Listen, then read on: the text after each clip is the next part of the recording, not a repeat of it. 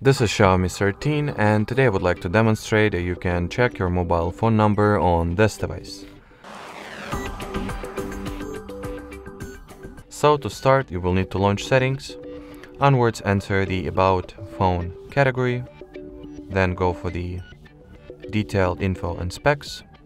In here open the status page and at the status page uh, inside the basic info field you can look up uh, the phone number that is saved into currently inserted SIM card's memory.